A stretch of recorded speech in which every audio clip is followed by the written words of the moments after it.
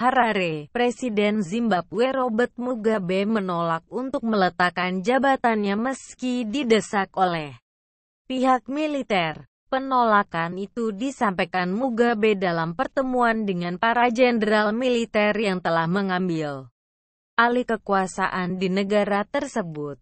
Pertemuan di ibu kota Harare pada Kamis 16 per 11 Waktu setempat diadakan setelah pasukan militer memblokade jalan-jalan utama, menguasai stasiun televisi nasional dan menetapkan Mugabe sebagai tahanan rumah. Mereka bertemu hari ini. Dia menolak untuk mengundurkan diri. Saya pikir dia mencoba mengulur-ulur waktu.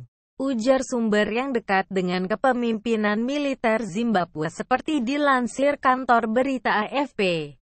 Jumat tanggal 17 bulan 11 tahun 2017.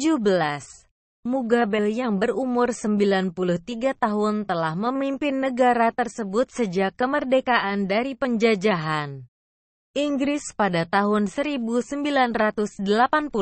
Dia kini merupakan kepala negara tertua di dunia.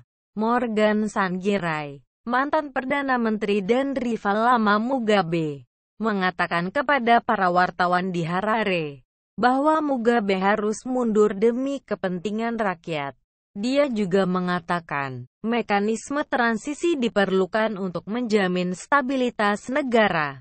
Sebelumnya, jajaran jenderal militer Zimbabwe membantah telah melakukan kudeta.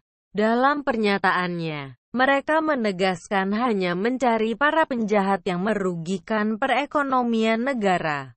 Tidak diketahui pasti apakah langkah militer ini akan mengakhiri kepemimpinan Mugabe atas Zimbabwe. Disinyalir, tujuan utama dari jenderal militer yang mengambil alih kekuasaan adalah mencegah istri Mugabe, Gres 52, menjadi penggantinya. Sejumlah pendukung Mugabe dan istrinya dilaporkan juga berada dalam tahanan militer. Ita Ita, Mugabe